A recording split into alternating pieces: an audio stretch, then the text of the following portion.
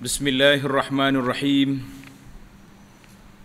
الحمد لله رب العالمين والصلاة والسلام على رسول رب العالمين نبينا محمد بن عبد الله وعلى آله وصحبه ومن والاه أما بعد Sambungan pelajaran kita dalam kitab Bahrul Mazi. Bahrul Mazi, Lautan Madu Ilmu Syarah kepada Sunan At-Tirmizi. Mukhtasar ya. Sambungan perbincangan kita dalam masalah nombor 470 Babun fil mustahadah Bab pada menyatakan perempuan istihadah. Mustahadah ni maknanya yang keluar darah berterusan, berkekalan. Cuma kalau kita waktu kita ajar bab ni kepada budak-budak kelas perdoa ini dia terkejut. Dia kata tak mati kau keluar darah ni, dia ingat kau keluar macam air pahit. Saya kata tidak macam tu, dia titik gitu ya. Ha, kalau keluar macam darah, habis lah, mati lah. Tak, tak ada satu jam, habis darah kita. Jadi kita kena ingat mana darah yang berterusan, artinya sentiasa ada. Mana kalau dia cek di kemaluan dia tu ada, titisan darah tu ada. Ketahuilah wahai saudaraku, bahawasanya haid itu kita ada dua. Asal darah perempuan secara tabi'i nama dia haid. Kita dah bincang dah awal panjang dah bab haid ni. Haid apa makna haid? Iaitu mengalir keluarnya darah perempuan di dalam waktu-waktunya yang maklum. Makna haid ni dia punya tempoh dia orang perempuan ni biasa dia tahu. Seminggu, tujuh hari, dan Pekoh Syafi'i kata tak lebih daripada 15 hari. Itu paling lama. Melepaskan dia keluar itu oleh bekas anak. Ha, dia terjemah terus rahim. Mana darah tu mari daripada rahim. Kemudian daripada balignya. Ha, syaratnya budak ni sudah balik. Mana salah satu daripada keluar haid tu tanda balik anak perempuan kita. Itu definisi haid. Haid darah yang keluar dari rahim pada waktu yang tertentu dengan warnanya yang tertentu. Adapun istihadah, tulis di tepi kitab, ini dia panggil definisi ta'rif istihadah. Apa benda? Dan istihadah itu ialah hanyut darah. Hei, maknanya darah yang keluar daripada faraj perempuan di dalam bukan waktunya bukan waktu haid ni ataupun dia bersambung dengan haid. Tak tahu mari man, masa mana. Dan keluarnya itu daripada satu orang yang terbuka tidak terkatuk-katuk. Ha, mana orang daripada arak daripada orat bukan mari daripada rahim. Yang bernama dalam bahasa Arab dipanggil al-azil. Al-azil. Maknanya darah uh, istihadah ini orang panggil darah penyakit darah haid tidak penyakit itu darah tabi'i kataballahu ala banati adam Allah Taala telah tetapkan di atas anak-anak perempuan bani Adam dia akan haid jarang ada orang tak ada haid ha, tapi eh payahlah nak jumpa tak biasa hak tabi ini ada Hak tak ada haid langsung ada. Ada orang tak ada haid. Jarang-jarang. Sebab para fuqaha dia bincang tentang orang tidak ada haid ni macam mana. Ha, kalau dia beredah kan kita tiga kali haid. Yang dia tiga kali apa? Ha, tiga kali. Salah satu kuru. Tiga, tiga bulan. Macam panjanglah cerita dia. Bersalahan darah haid. Berbeza darah istihadah dengan darah haid kata segala ulama maknanya boleh katakan seluruh ulama yang membincang masalah ini berkata ialah yang keluar daripada hujung rahim maka jikalau keluar darah itu lebih daripada adatnya atau keluar ia bukan waktu keluarnya atau mengalir ia dengan bersemandangan. Ha. Anak nak, nak baca sekali ya semendangan ni. Lepas pada ni kita akan tukar dengan makna yang berterusan. Eh? Tuan-tuan tandalah pelajar ni. Bahasa dia ni semendangan ni tak tahu dia ambil di mana. Bahasa dia lah bahasa kampung dia. Bersemendangan maknanya darah tu keluar berterusan. Orang Kelantan kata ada sokmo. Ha, itu semendangan. Mana sedap semendangan ada sokmo. Eh, kita orang Kelantan ni ada sokmo, sedapnya tak? Baru jijak dengan kita, ayat kita. Maknanya darah tu sentiasa ada. Semendangan maknanya berterusan ataupun sentiasa ada, berkekalan. Terjemah yang awal dia tu istihadah jelas. Ataupun kita terjemah istihadah.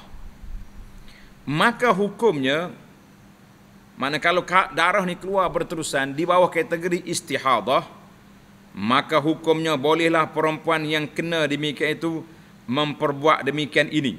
Ah, sedap bahasa lama ni. Nah, perempuan yang kena demikian itu memperbuat demikian ini. Ha, lagu mana tu? Ha, main itu dengan ini ni. Ha, ni bahasa lama.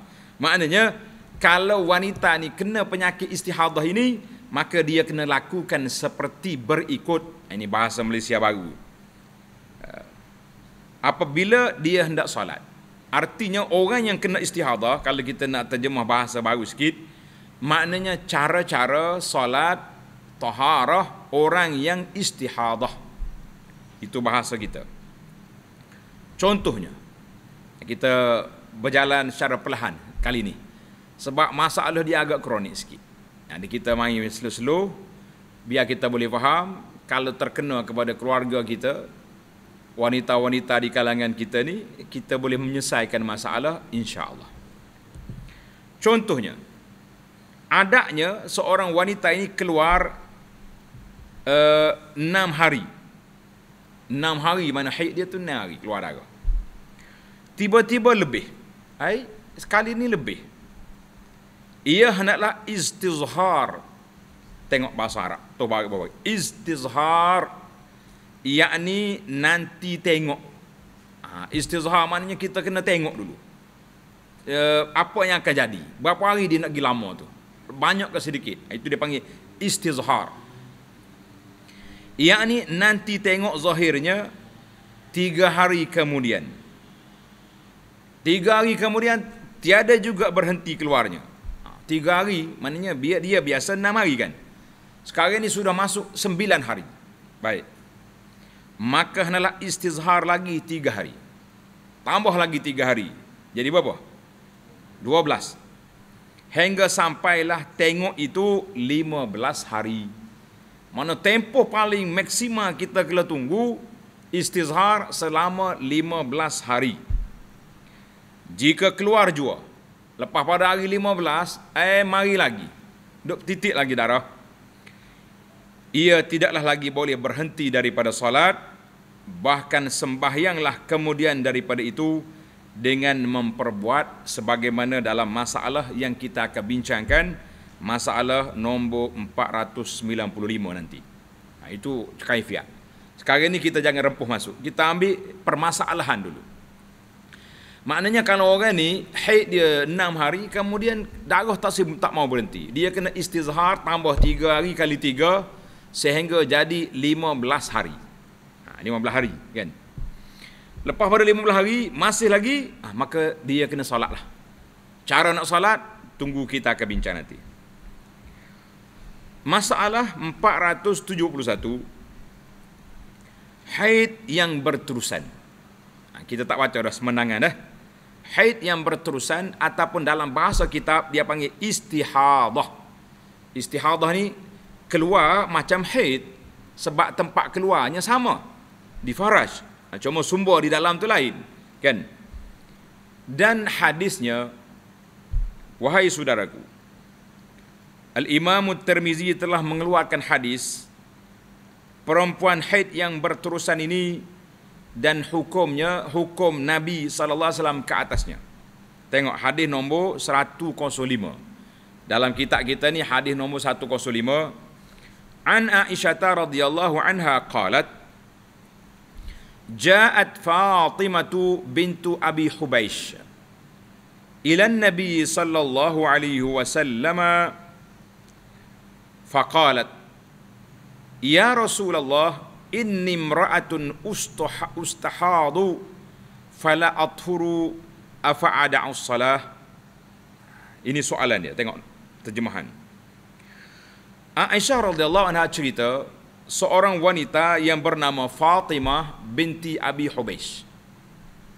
Apa masalah dia? Masalah dia nya kena penyakit istihadah. Penyakit darah yang tak berhenti.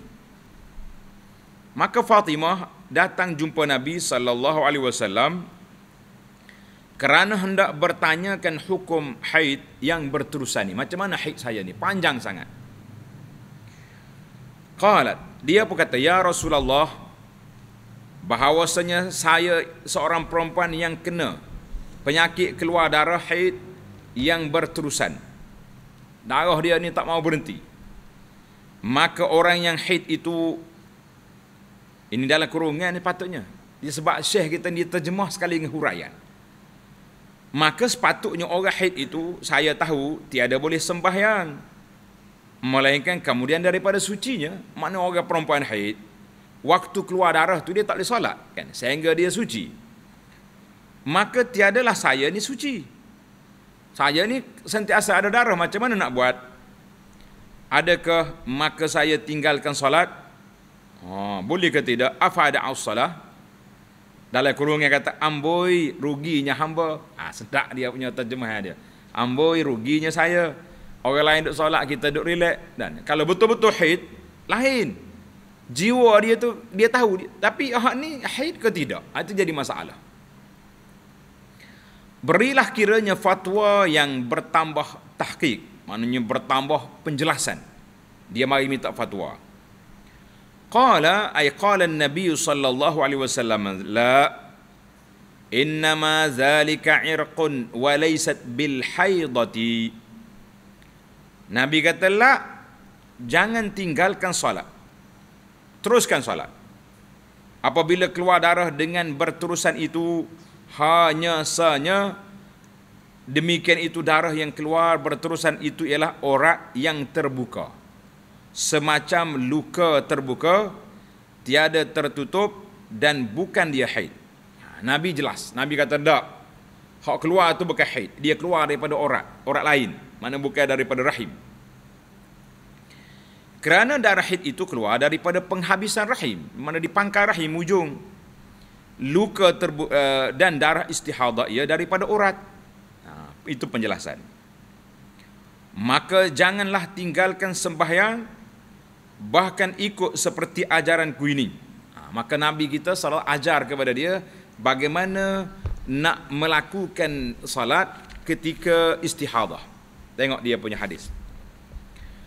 Fa iza aqbalatil haidatu fada'i salah.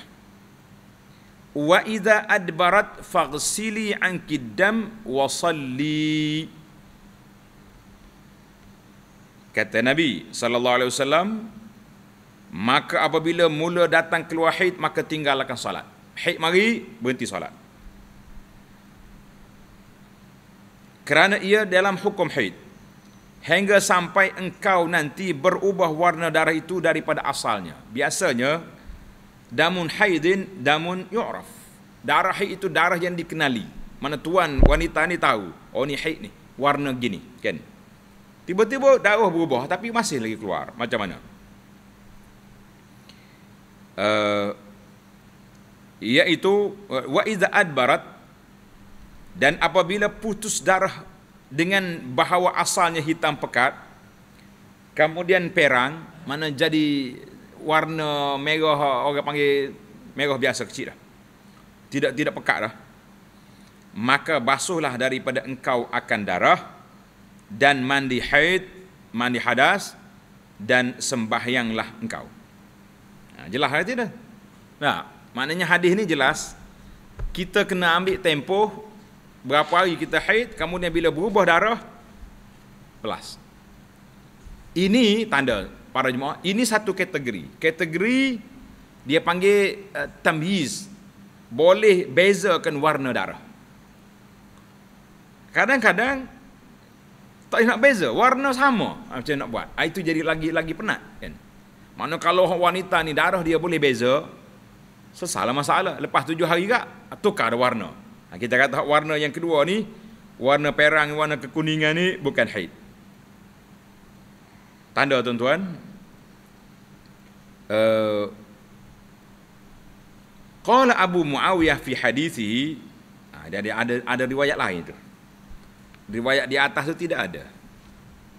Qala Abu Muawiyah fi hadithihi wa tawaddai li kulli salatin hatta yaji'a dzalikal waqtu. Uh, dan uh, kata Abu Muawiyah guru bagi guru Tirmizi mana dalam rawi dia tu. Dalam hadisnya lebih daripada yang sebut itu Kata sabda Nabi sallallahu alaihi wasallam dan hendaklah mengambil wuduk engkau ya Fatimah binti Abi Hubeish bagi tiap-tiap kali solat hingga datang akan demikian itu oleh waktunya. Maknanya setiap kali masuk waktu solat basuh ambil wuduk. Hai, tak payah mandi kan? Kata Abu Isa At-Tirmizi dan pada bab ini ada riwayat daripada Ummu Salamah. Ada riwayat lain. Dan kata Abu Isa lagi, bermula hadis Aisyah ini ialah hadisun hasan lagi sahih. Tuan-tuan tanda, hadis nombor 105 ini diriwayat oleh Imam Bukhari dan juga Muslim. Mana hadis ini jelas. Sahih. Hadis hak dalam hak atas. Bukan hak tambah di bawah tu, hak atas tu. Lafaz Muslim sama dengan ini. Baiklah. Maknanya dari sudut asal hadis sahih. Bagaimana perbincangan? Kita masuk pada perbincangan. Masalah 472. Haid yang berterusan dan hukum sembahyang. Ha, mana haid istihadah lah. Mana darah tu keluar berpanjangan. Bagaimana hukum salat. Kata di Abu Isa At-Tirmizi. Dan ialah yakni sebagai mana dalam hadis masalah 471. Ha, hadis, hadis lah. Hadis Fatimah binti Abi Hubais ni. Itulah yang difatwakan oleh ketiadaan seorang daripada ahli ilmu. Maknanya dipatuakan oleh ramai, bukan seorang, makna ramai ulama-ulama dari kalangan sahabat-sahabat Nabi sallallahu alaihi wasallam radhiyallahu dan juga para tabi'in. Dan dengan dialah perkataan Sufyanus Sauri, mana pendapat Sufyanus Sauri. Dan Imam Malik. Dan Ibn Mubarak. Dan Asy-Syafi'i bahawasanya orang yang kena haid yang berterusan dipanggil mustahadah itu apabila melampaui haidnya mana lepas pada waktu biasa haid akan hari quruknya hari suci atau haidnya nasaya mandi ia dan mengambil wudu bagi tiap-tiap kali masuk waktu solat intaha maka mengenal quruk itu bagaimana kita nak tahu apa makna quruk kita lihat dalam masalah 490 nanti. Ya, quruk itu sama ada suci daripada haid ataupun haid itu sendiri dia panggil. Quruk salah satu quruk kan. Ya, dua tu ulama tafsir. Dia kata haid ataupun suci. Suci lepas pada haid. Jelas dah kita sini bahawa para ulama kata lepas pada waktu haid itu istihadah. Hmm. Masalah 473. Masalah haid yang dibezakan darahnya dengan istihadah dan hukumnya. Ha, mana kalau kalau kita boleh beza, orang panggil lebih senang. Ringanlah dia punya cabaran. Kata Imam Syafi'i rahimahullah dalam Al-Um, nama kitab dia. Dan bermula hadis Sayyidah Aisyah dalam masalah 471, hadis 105 itu menunjukkan atas bahawasanya Fatimah binti Abi Hubeish radhiyallahu anha akan darah istihadahnya berbeza daripada darah haid. Mana isu Fatimah ini darah dia boleh dikenal pasti, beza warna. Kerana dapat dipahami daripada jawapan Nabi sallallahu alaihi wasallam, Nabi kata fa iza aqbalatil haidatu al hadis mana ila akhir hadis. Artinya maka apabila datang mula-mula haid mana mu tengok, ah, mari warna hitam, gelap dah warna, bang pun lain. Maka tinggalkanlah salat. Dan apabila habis qadarnya, tamak dah tempoh seminggu dia, lepas tu warna pun bertukar, maka basuh oleh akan darah dan sembahyang. Mana kalau kita boleh bezakan, kita kata sangat mudah. Ha. Kata Imam Syafi'i, maka kami kata, apabila darah perempuan haid itu berbeza, ha, berbeza, maka ia maka jadilah beberapa hari merah, sehabis-habis merah, lagi pekat ke hitam-hitam lagi panas. Maknanya asalnya gitu. Dan jadi ia beberapa hari tiada pekat lagi. Cenderung warnanya ke perang-perangan. Ha, warna perangan atau kepada berkurangan warna dia. Mana warna dia pudar, tidak merah sangat. Maka hari darah yang likat lagi hitam panas itulah darah haid. Dan hari darah tiada likat, tiada pekat warna itu darah istihadah kalau kita ada warna. Baik. Bagaimana hukum? Tengok masalah 474. Masalah haid dan istihadah dan mandinya. Tuan-tuan ingat dah. Istihadah tu makna apa? Darah penyakit. Luar daripada waktu haid. Ingat. Anda pun rasa malah nak terjemah dah. Kita guna lafaz asli bahasa Arab ni lebih lebih orang panggil lebih lebih jelas insya-Allah. Kan? Kata Imam Syafi'i rahimahullah dan tiada disebutkan pada hadis Aisyah hadis 105 eh, tadi itu akan mandi pada waktu tamat haid. Dia tak sebut. Dia kata fada'i apa ni wa idza aqbalatil haidu fada'i salah. Ha. Wa idza adbarat bila haid tamat salu. Dia tak sebut mandi. Macam mana? Dan menyebut ia akan basuh darah. Maka telah kami ambil hukum mengisbatkan mandi itu bukan daripada hadis ini. Kami, itu, itu itu apa ni kefahaman Imam Syafi'i sebagai imam usul al-fiqh. Ha, ilmu usul fiqh ini dialah wadih ataupun pengasas pelopor kepada ilmu ini. Jadi Syafi'i kata hukum mandi kita ambil daripada ayat al-Quran yas'alunaka 'anil mahid qul huwa adhan fa'tazilun nisaa fil mahid ila akhir ayat panjanglah. Tanda tuan-tuan. Naskah lama kita ni nombor ayat al-baqarah 222 tulis nombor ayat. Kamu cari tak jumpa. Kan? Artinya orang bertanya akan dika wahai Muhammad sallallahu alaihi wasallam. Mereka itu daripada haid. Bila orang tanya tentang haid, katakanlah, mana mu jawab. Haid itu ialah busuk. Oh, lagi dilewati, lagi menyakiti. Maknanya orang tak ada dekatnya dia tu. Bau tak comel. Lan dia dia tu penyakit. Ha, jangan duduk dekat dapat. Jangan duduk cari kerja dia menyakiti akan orang yang menghampirinya kerana busuknya dan najisnya darah itu hingga akhir ayat. Mana darah ini darah ada masalah. Maka kata Syafi'i, maka dikata orang wallahu alam maksudnya bersuci perempuan-perempuan itu daripada haid. Maka apabila bersuci mereka itu tetaplah ia dengan air. Ha, jadi kena kena mandilah nak nak suci dengan air maka jadilah dia mandi.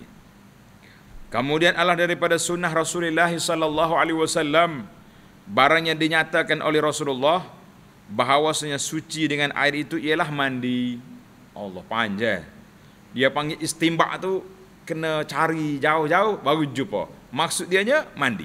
Ha, habis itu mana orang yang nak suci daripada haid tamat tempoh haid dia wajib dia kena mandi. Dia panggil mandi apa mandi hadas hadas besar. Masalah 475 haid yang berterusan ataupun istihadah dan wudu sembahyangnya macam mana? Hukum orang istihadah ni bagaimana cara dia berwudu? Tanda baik. Kata Imam Syafi'i dan tiadalah atas orang yang mustahadah itu wajib melainkan mandi yang dihukumkan dia suci daripada haid dengan sunnah. Mana sunnah yang ajar menentukan dia tu.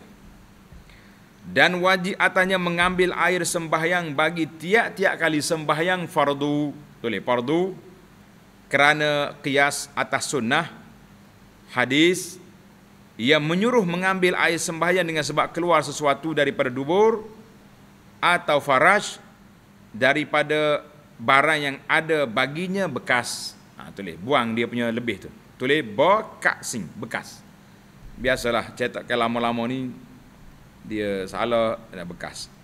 Ada muhakkik dia kata tikas makna bekas. Bagi anaknya salah cetak. Ha betulnya bekas. Ha tulis. Itu dia panggil faedah kita tahqiq kitab-kitab lama ni. Kita tengok siakul ayah. Ha, dia kata daripada ada bekas, ada kesan. Ha.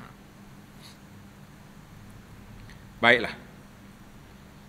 Artinya orang istihadah tak wajib mandi. Tulis simpulan itu. Hukum orang istihadah tidak wajib mandi setiap kali nak salat. Cuma dia kena wuduk. Dan bersihkan alat dia, anggota dia tu. Masalah 476. Haid yang berterusan tak boleh meninggalkan solat. Ah, jangan orang istihadah ni ai tak semaya dah aku. Apa? Ni ada darah ni. Ah, mudah ke dia. Kan? Nanti lepas pada haid ni kita jumpa satu lagi penyakit nama dia nifas. Tulis tuan-tuan. Saya takut lambat sangat sampai tajuk ni. Kita sebut lalu sini. Makna orang istihadah, darah penyakit, dia kena solat. Tak boleh berhenti semayang. Ha, cuma dia penat sikit lah. Setiap kali masuk waktu kena ambil wudu, itu dia penat sikit kan. Bagi orang nifas, tanda tuan-tuan kita ni pakat duk nifah belaka ni muda-muda ni tak mudah lagi tu. Nah lama tu mencen pencen lah dia tu. Ha. orang nifas dia bukan ikut 40 hari tak solat. Dia ikut ada darah ke tak ada darah. Baru ni anak jumpa orang tanya soalan. Soalan betul ni. Tua dan makcik ni baru dengar orang orang kata nifas itu darah dia tanya betul ke ustaz? Kata apa? Oh saya dulu waktu beranak dulu kak. Tak kira lah ada darah tak ada selagi tak cukup 40 hari. Tak semaya. Ha, kata penat. Biasa-biasanya zaman dulu. Darah tu berapa hari? Dia kata tak lama. Sekitar sebulan. Mungkin 25 hari berbuti darah. Tapi selagi tak 40 kita tak semaya. Ha, ini kena ambil perhatian. Suami-suami ibu bapa kena tanya khabar. Kalau anak kita bersalin, tanya. Mu ni darah lagi tak? Tak dah. Ha, semaya. Tak juga 40. Eh, siapa dia kata nifas tu mesti 40 hari lah. Al-ibratu biwujudid dam yang diambil kiranya ada darah. Ha, bukan ada hari. Kan? Hak 40 hari tu, tu mazhab makan ikan kering nama dia. Tidak makan ikan kering kan? Dah. Dah lah kawan tu kering. Dia beranak makan ikan kering pula. Eh, tak cukup zat molek. Rupanya orang tua-tua ni dia tak sebi suami duduk dekat. Dia suruh berpantang-pantang. Nah, oh, bau nyok comor kok macam-macam minyak dengan kawan tu. Ha, mak dia nak jaga anak dia sebenarnya tu. Nah, tapi bak solat kalau tak ada darah jangan ditangguh.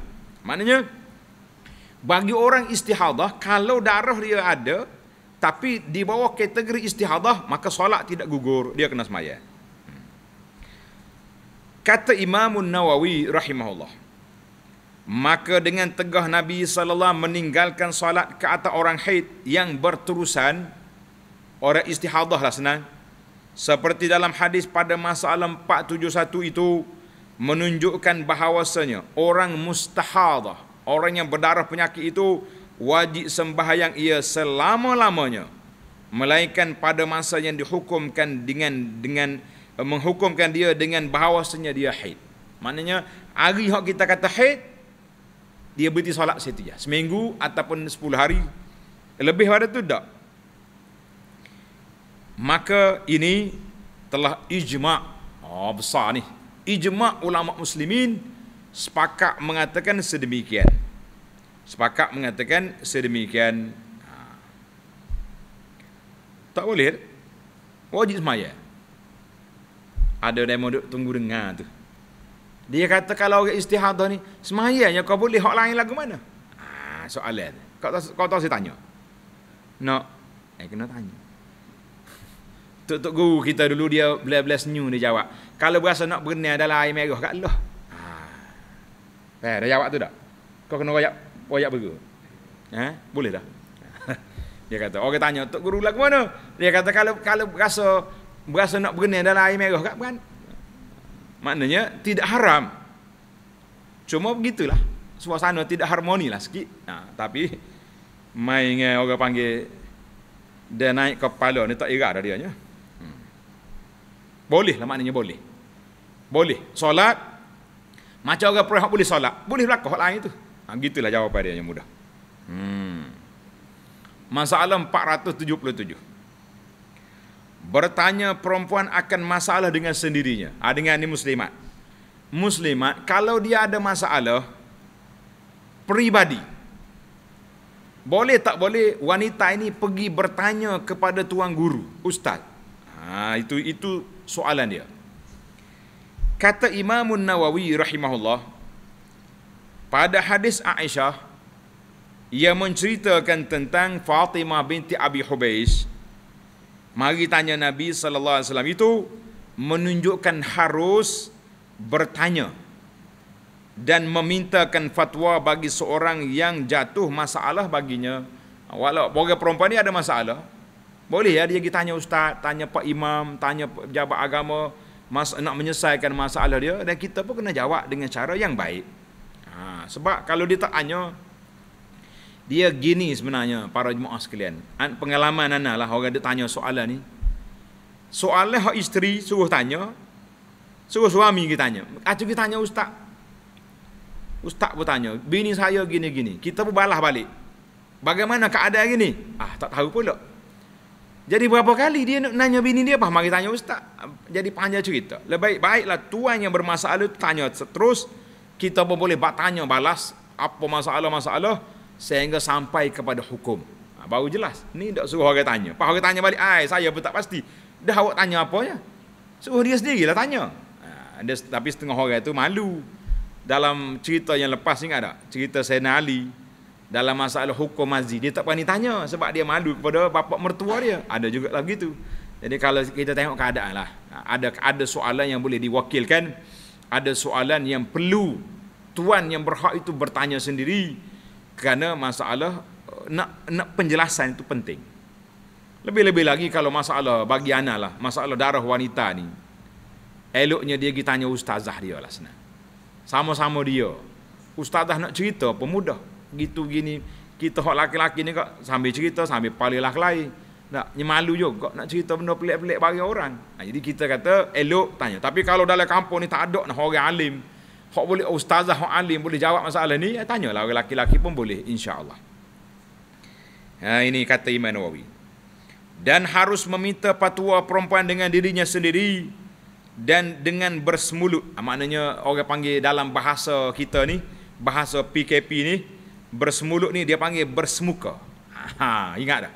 Kan kita lah ni dua cara. Sama ada kita mengajar di alam maya, orang tengok di di rumah ataupun kita mengajar dalam kelas itu dia panggil bersemuka. Tulis, kita guna bahasa PKP.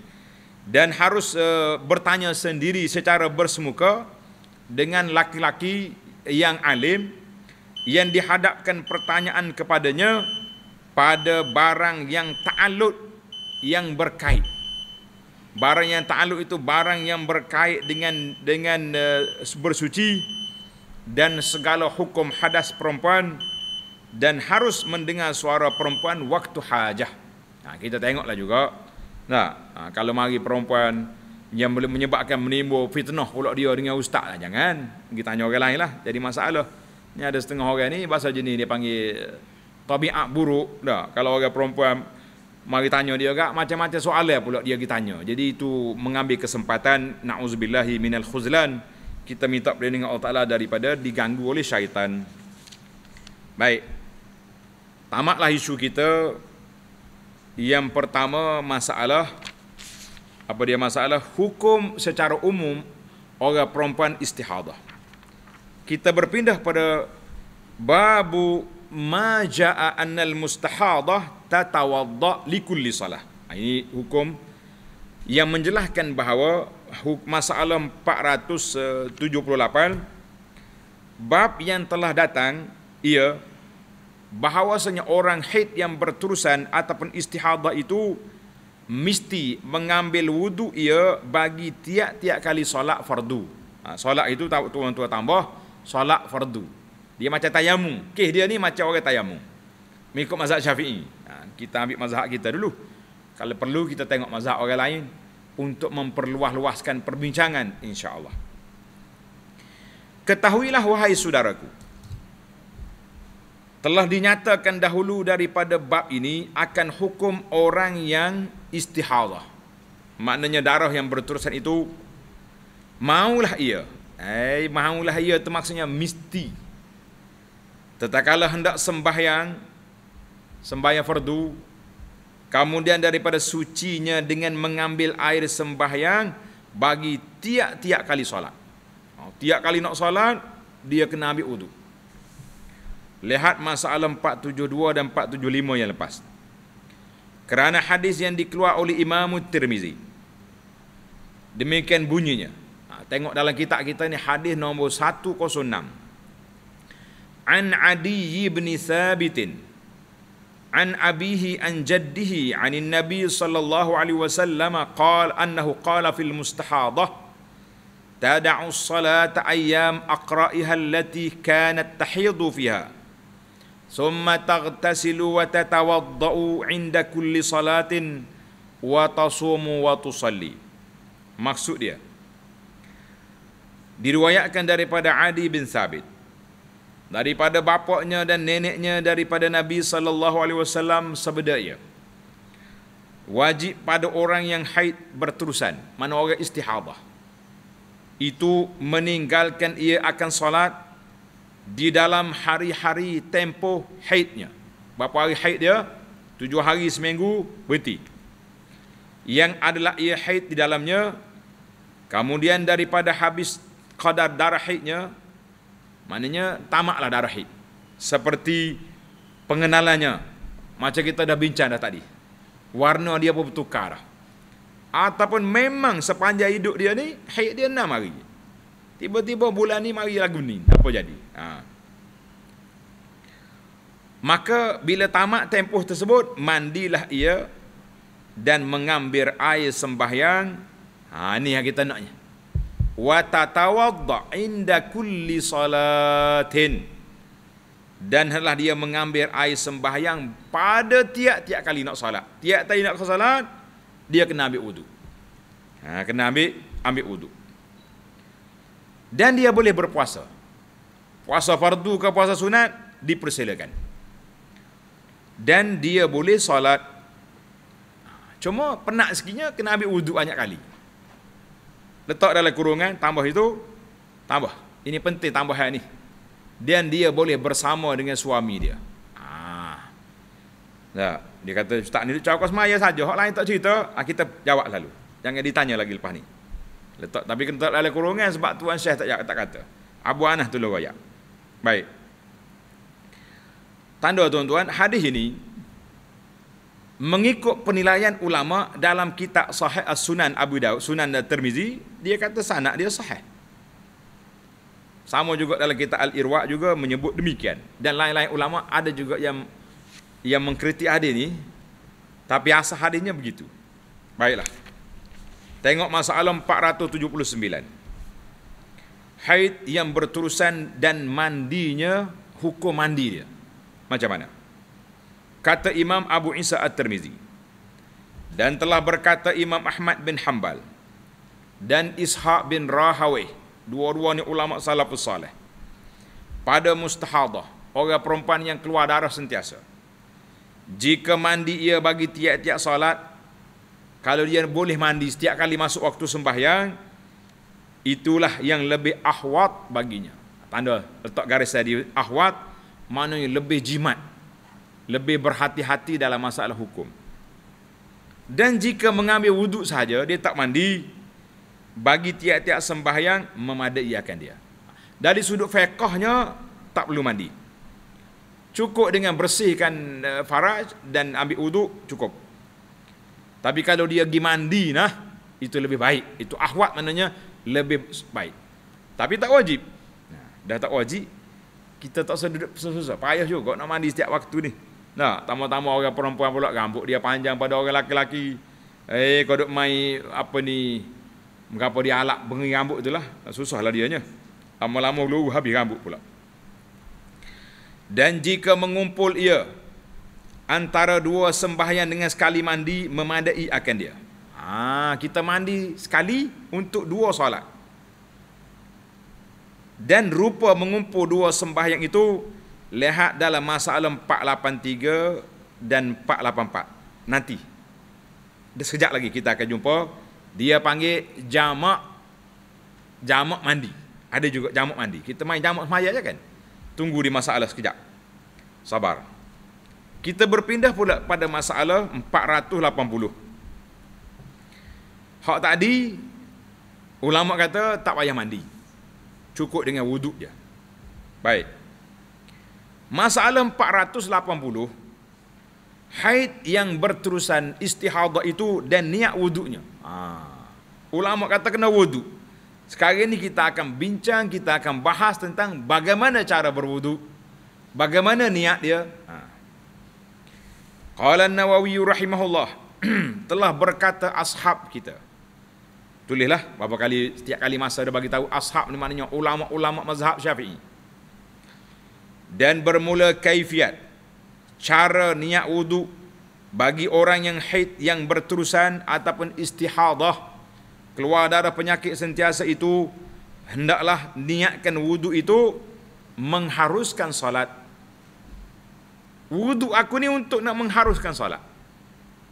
Bukan nak mengangkat hadas. Sebab dia tak hadas dia sentiasa ada. Lepas ambil wudu keluar pula darah. Ya. Maka Syafi'i, Peko Syafi'i kata, kita kena niat mengharuskan solat. Dan jangan merengkaskan atas niat meng- mengangkat hadas.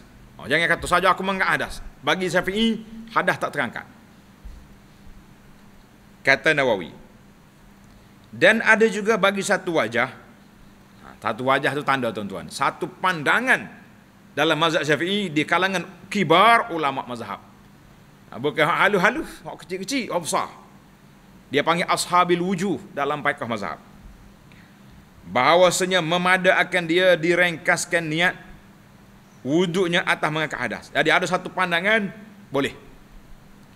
Ha, itu dia panggil uh, wuduk ini rafi' mengangkat hadas. Yang pertama tadi wuduk itu mubih mengharuskan. Pandangan yang kedua ni banyak kemudahan kalau kita terima dia. Yang mengatakan mengangkat hadas. Dan wajah yang ketiga, pandangan yang ketiga dalam mazhab bahawasanya wajib atas orang yang keluar darah berterusan itu menghimpunkan antara niat istibahatis salah iaitu mengharuskan sembahyang dan mengangkatkan hadas niat raf'ul hadas. Nawaitu raf'il hadas. Mengangkat hadas. Jadi ada ada ulama kata kena niat dua-dua. Ada kata boleh. Tapi Nawawi kata dan yang sahih yang pertama. Apa dia yang pertama? Kita kena niat mengharuskan salat bukan mengangkat hadas mengikut syafi'i Maka apabila sudah orang yang haid berterusan itu mengambil air sembahyang, maka haruslah dia solat sebab dia sudah ada wudu, dia boleh solat. Baik. Jelas kita dari sudut niat. Kena niat apa? Niat mengharuskan solat bukan mengangkat hadas. Masalah 481 haid yang berterusan ataupun istihadah dan wuduk wuduknya mengangkatkan hadaskah? Ha, itu tadi dalam fiqh Syafi'i kata tak mengharuskan solat. Tapi tuan Syekh kita ni masih lagi tidak berpuas hati dia bahas kali yang kedua. Ha, tengok. Kata Nawawi. Dan adakah dikata orang terangkat hadas, orang yang keluar darah yang berterusan itu apabila ia mengambil wuduk, bila kita ambil wuduk terangkat hadas juga, macam orang yang tidak uzur. Qala nawawi pada padanya ada tiga wajah. Tiga pula dah. Tiga pandangan tiga wajah tu. Bagi ulama mazhab syafi'i bermula yang asahnya pendapat yang paling sahih bahawasanya tiada terangkat sesuatu daripada hadasnya bahkan mengharuskan sembahyang dengan sucinya itu serta ada hadas orang ini berhadas sebab sentiasa keluar darah dia ha. contohnya sebagaimana orang yang tayamum juga bukankah apabila tayamum dihukumkan berhadas juga di sisi kita. Ada kata hadas ada lagi. Tamu kita boleh solat je. Dan wajah yang kedua terangkat hadasnya yang dahulu dan yang sertanya. Makna hadas lepas-lepas dengan hadas yang sudah kita angkat tadi hilang. Keluar pula darah itu hadas baru. Ini tak angkat dah tu. Ha, ini kena kena nampak jelas sikit kan. Nampak dah? Mana hadas hak lama dah dengan ada hak kita angkat tadi hilang. Tapi kalau keluar lagi darah hak baru itu tidak. Maknanya wuduk ini mengharuskan salat. Ha, dia nak ke situ juga. Ha. Uh, dia panggil as-sabiq wal muqarin. Mana sabiq hak lepas, muqarin hak la ni. Kerana bersuci dan tiada terangkat hadasnya yang akan datang dan wajah yang ketiga terangkat hadas yang telah lalu sendirinya sahaja wallahu a'lam. Mana sebab kita ambil wuduk tadi kan? Jadi ada hak lama tu ada lah. Tapi hak duduk ni tak jadi. Allahu akbar. Eh makin dalam kita berbahas makin alim kita dalam masalah ni. Kau makin pening. Ha, dia dua tu ya. Nah, sama ada makin makin jelas, makin faham atau makin pening. Nah, jawabnya jangan pening-pening kita akan mati awah lepas ni insyaAllah. Nah, ini panggil mati awah bahasa Kelantan, bahasa tua, orang tua kata. Masalah yang terakhir dalam bab ni, masalah istihadah dan sembahyang yang diharuskan dengan wuduknya. Ha, orang yang berwuduk ni, apa yang dia boleh buat? Orang yang berwuduk dalam keadaan dia berhadah itu, apa yang dia boleh buat? Kata Imam Nawawi, dan bahawasanya mazhab kita orang yang haid berterusan itu tiadalah boleh ia sembahyang dengan wuduknya yang satu itu lebih daripada fardu yang satu sahaja ha, tak boleh nak maya maghrib ambil wuduk siap solat. Nak solat isyak kena ambil lain. Sama ada ia sembahyang tunai atau atau qada eh kalau nak qada pun tak boleh juga. Satu-satu.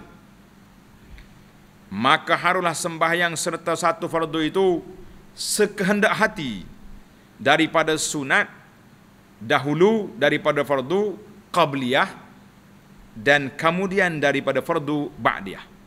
Maknanya semaya sunat banyak mana boleh. Maghrib sampai ke isya boleh. Tapi nak solat isya tak boleh. Ha. Macam apa? Macam apa ni tuan-tuan kes ni? Ha? Tayamum. Tayamum kan tak boleh.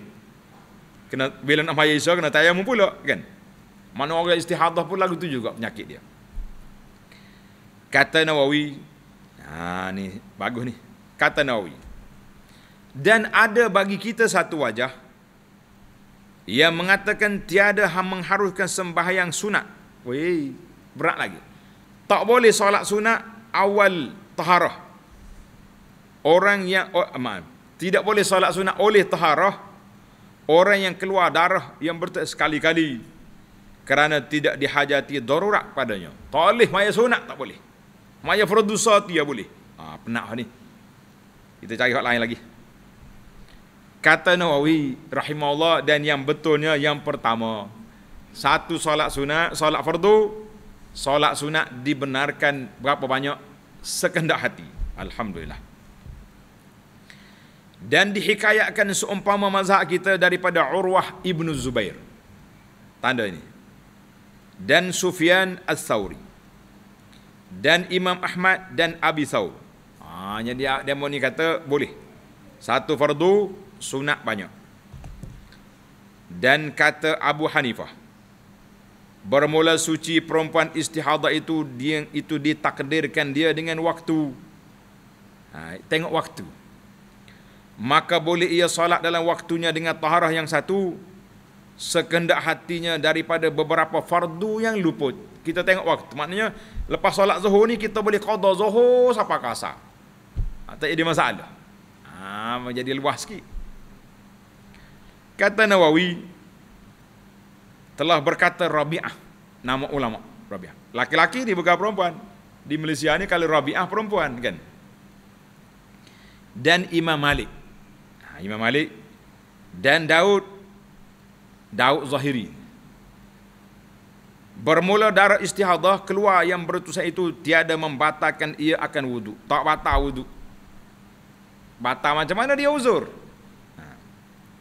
Maka apabila suci ia maka harus baginya sembahyang dengan sucinya itu akan sekehendak hatinya daripada fardu sampai berhadas ia dengan sebab lain daripada istihadahnya wallahu a'lam Ha, kita kata pandangan yang terakhir ini pandangan Imam Malik dan sebahagian ulama lain ini lebih luas.